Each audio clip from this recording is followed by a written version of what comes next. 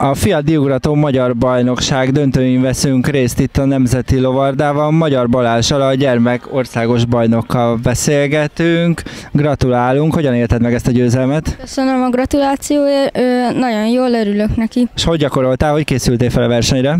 Heti hétszer lovagoltam, három lóval, Kormos Jánossal készültem fel. A nagyobb versenyeken ugye többször jött hozzánk, egy héten például négyszer. Ha jól emlékszem, a Grand Prix alkalmával mindig elindultál, de ott mi nem jött össze a győzelem. Mi változott azóta? Többet gyakoroltam, most az OB-n hamarabb lefeküdtem, ilyen kilenckor, és hát többet edzettünk. Kétszer szoktunk körülbelül egy héten ugrani, többi idomító munka. És ha jól tudom, akkor edzőváltás volt nem régiben nálatok. Változott valami a munkában azóta? Igen, Kornos János felül a lovaimra sokszor, most is felült előtte, OB előtt, és hát sokat segítő is nekem. Akkor beszéljünk egy picit a lóról. Mióta lovagolod? Hogyan alakul a kapcsolatotok? Két hónapja lovagolom, nagyon szeretem, nagypapámtól kaptam.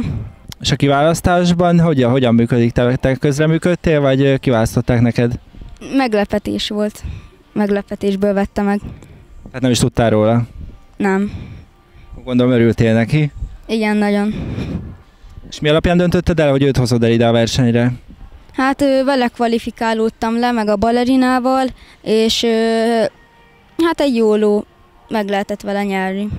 És ha jól láttam, akkor itt volt egy nagy szurkolód, talán a nagypapád volt.